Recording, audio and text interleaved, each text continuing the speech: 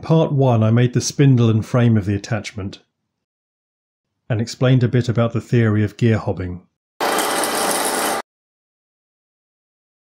If you haven't seen part 1, this will probably make more sense if you go back and watch that first. The spindle is driven by a stepper motor, via a toothed belt and pulleys. The large pulley needs to be keyed to the spindle.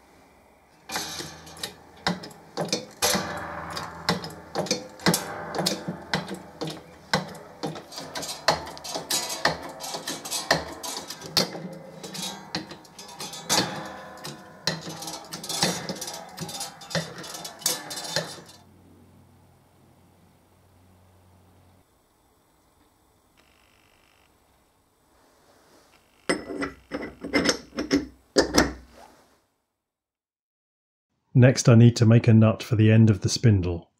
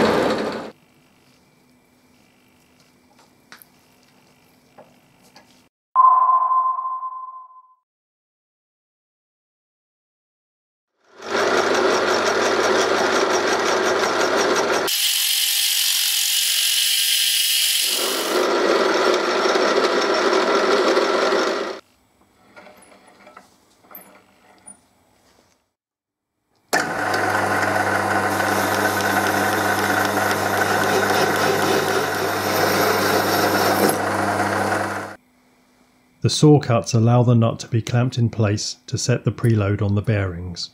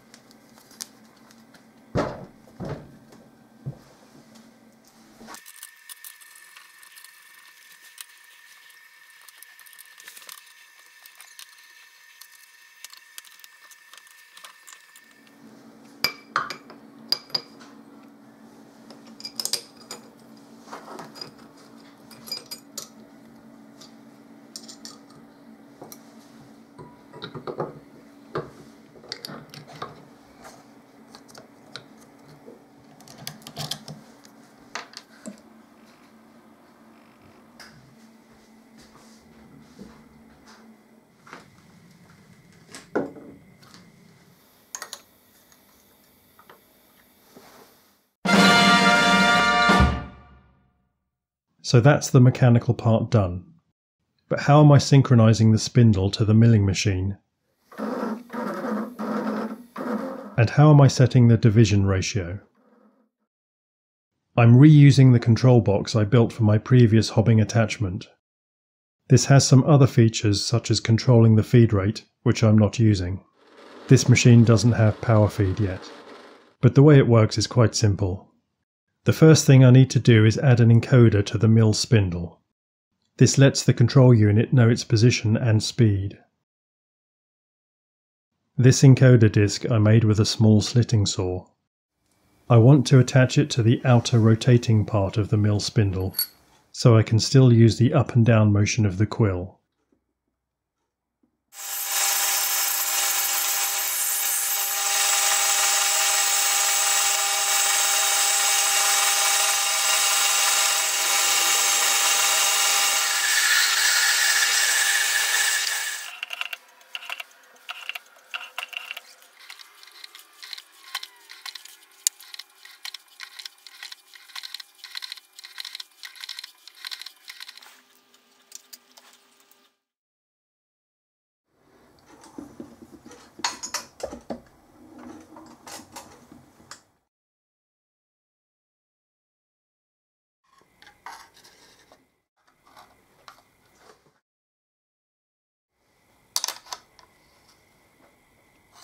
The encoder disk has 150 slots. Using quadrature encoding, this gives 600 pulses per revolution. The stepper motor I'm using has 200 steps per revolution, and the pulleys have a 3 to 1 ratio, which also gives 600 steps for one revolution of the hobbing spindle. This means I can easily divide by any whole number by simply counting that number of pulses from the mill spindle before sending one pulse to the stepper motor. For example, for a 1 to 1 ratio, for every pulse received, one pulse is sent. But that's not very useful for cutting gears. If I want to cut a 42 tooth gear,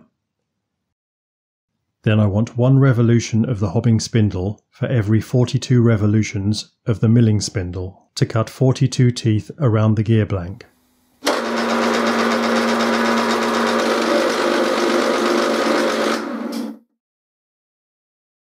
So I count 42 pulses between each pulse sent. These pulses happen very fast, so the rotation of the spindle is smooth rather than a series of steps. Should the mill spindle turn backwards, then the count is decreased instead of increased, so I never lose position and can cut in both forwards and backwards directions.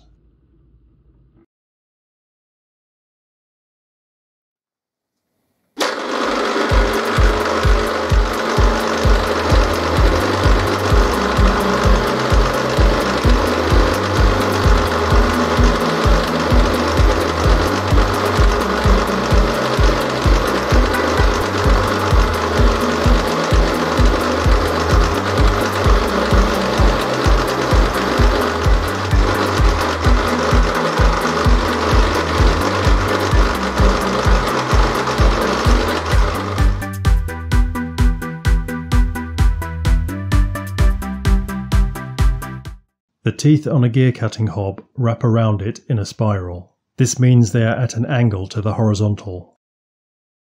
The head on the milling machine must be tilted the other way, so that the teeth line up with the direction of cut. This angle is normally stamped on the gear hob.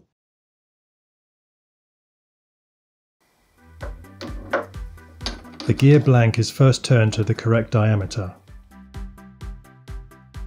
The number of teeth is set.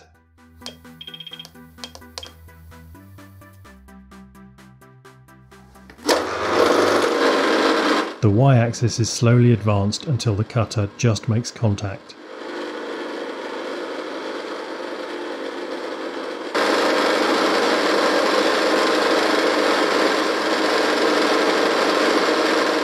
Then it is zeroed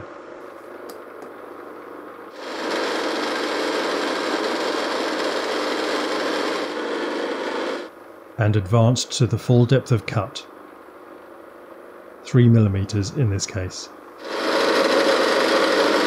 The cut is taken along the x-axis. Since the hob is cutting all the way around the gear, the feed rate has to be slow.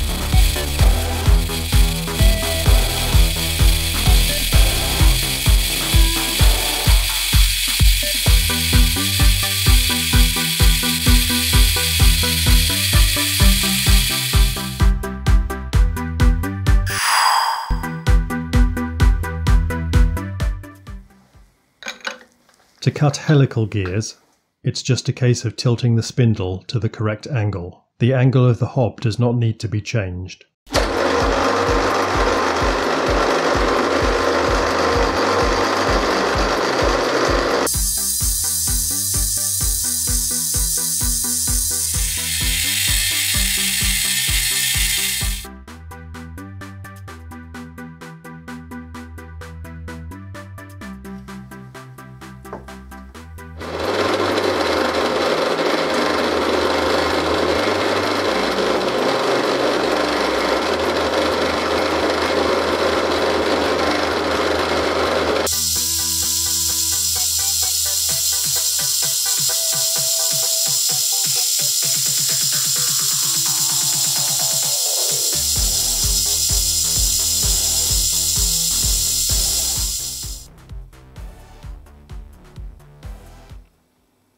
You might be wondering why I made the spindle able to rotate all the way up to 90 degrees. Well, there's one more trick it can do.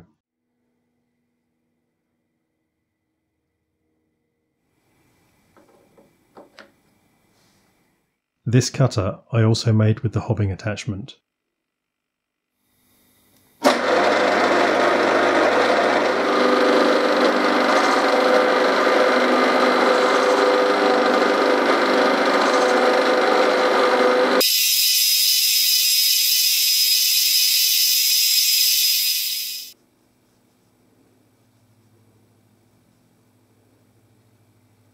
Technically, this is no longer gear hobbing. This is known as gear skiving, and it's one of the few ways to produce internal gears or cut gear teeth up to a shoulder on a normal rotary milling machine. I can hear what you're thinking. That was only a plastic gear. Will it work on steel?